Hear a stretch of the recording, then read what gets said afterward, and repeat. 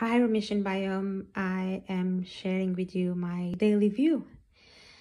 Remission Biome is pretty much revolutionary and I say that because I think it will completely change, I hope in time, it will completely change the way that society approaches how medicine and science can reach quickly, quickly the people that need it the most. So the protocol is targeted at people with ME/CFS and people with long COVID, and um, it comprises a combination of um, probiotics and um, this is my COVID brain stopping and antibiotics to uh, increase the baselines of people who are ill.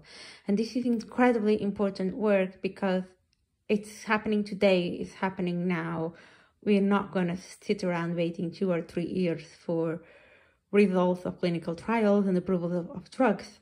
We can do this today and now by patient scientists, and this is pretty much revolutionary.